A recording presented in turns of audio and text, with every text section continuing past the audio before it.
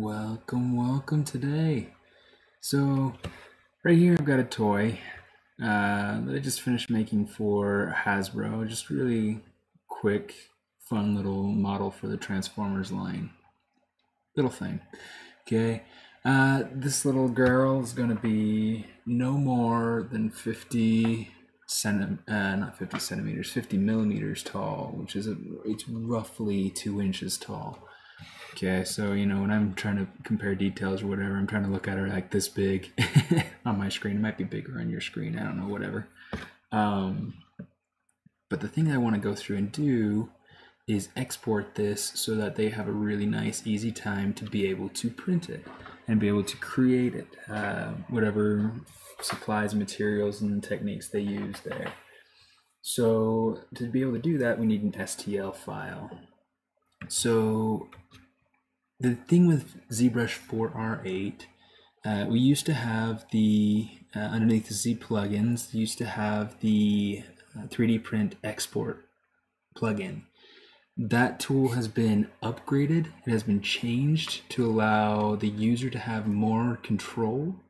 Um, I'm not gonna lie, when I first saw this 3D Print Hub plugin, when I was first looking at it the first time, uh, I had a little bit of troubles thinking that uh, this thing is going to be a little bit tricky to learn. Now, it is kind of tricky. Uh, you do have to kind of pay attention and actually think about some of the things that it says, but it does give you extra options underneath the size. Okay, so far as what it's pertaining, uh, what it's controlling, what it's deriving the size from, if it's per subtool if it's for the whole tool. Uh, this particular thing is a union mesh object that I derived from my original uh, my original sculpt, which had several different subtools. So this right here technically is just one subtool, one piece. You don't have to worry about anything, you know, really anything, which is really nice. Um, so maybe I'll show you twice. I'll show you once with just this, and then I'll show you another time with all the different pieces because it's it's kind of nice to know how to do it both ways.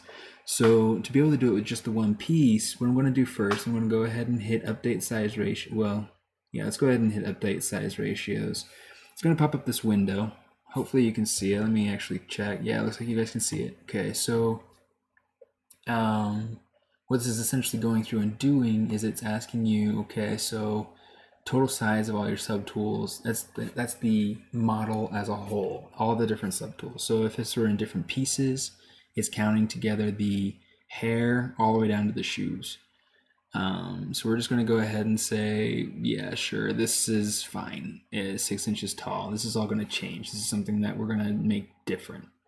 Okay, so what I want to do is I want to take this and I'm going to come over to millimeters now my millimeter size height wise, in fact just to just to verify because it's a good thing to make sure that you're not uh, going in the wrong direction. Uh, the, the, full size that they wanted me to have this at is 50.8 millimeters tall. Okay, so let's go in here to the to the y direction because that's the that's the height. Okay, so 50.8. Hit enter. And there we go. So you see it's got, you know, almost 13 millimeters in the X direction and then, you know, a little over 12 in the Z.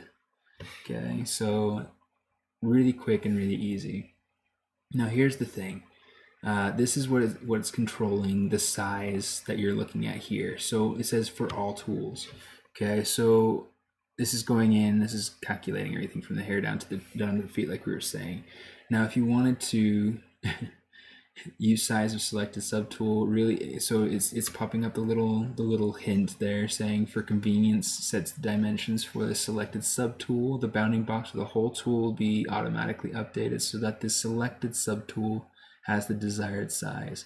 So this is basing your whole model's size based off of how tall you want that actual piece to be. So if you if i had this split up and set and say i wanted the shorts to be four inches tall.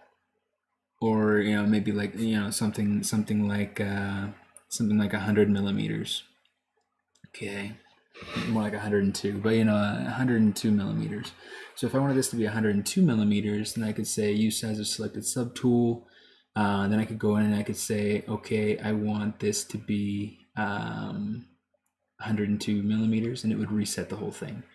So that's pretty nice. I'm just to go ahead and leave that. You can also, once you, if you have this as like a set up in the way that you like it, so that way, uh, you know, next time if you wanted it to be a little more automated, you can just come down here and you can say store size settings and it'll keep those settings kind of, um, these size, these size settings, you know, set for you. Um, okay, so now we have these options down here for export.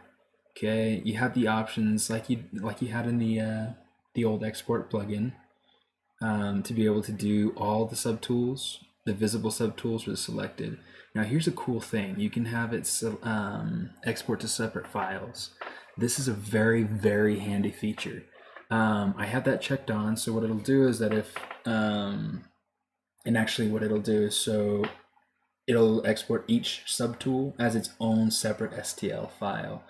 Um, the really neat thing is that it'll give you the option to uh, either name the subtools or the STL files separately, or to name them, um, you know, just one by one, or you can go through and you can have them export with the name of the subtool itself. It saves a bunch of time. So if you're if you're good at staying organized and keeping your files named the way you should, hint hint, uh, it makes it really nice and easy to just go ahead and hit export separate files, say use subtool name for the export. And we'll probably we'll probably get to to see that in just a minute, but uh, so I'm actually going to go ahead and change that name before I actually hit export. But again, you can store the export uh, settings. Okay, I'm gonna close that back up. Let's come over here. Let's rename this Rebecca. Okay. Okay, I think we're good. All right, so let's go ahead and say export to STL. Okay, so there it goes. It's pulling out the name of the uh, subtool that I'm using. Because I don't have multiple subtools, it's not really counting it like that. Uh, you can see over here that I have, uh, it's actually an OBJ file of the union mesh uh, result that I got when I ran the Boolean function. But yeah, so I'm gonna hit save and then you know, it says it's already saved, but I don't have the box popped up yet. So we just gotta wait for that. And still waiting.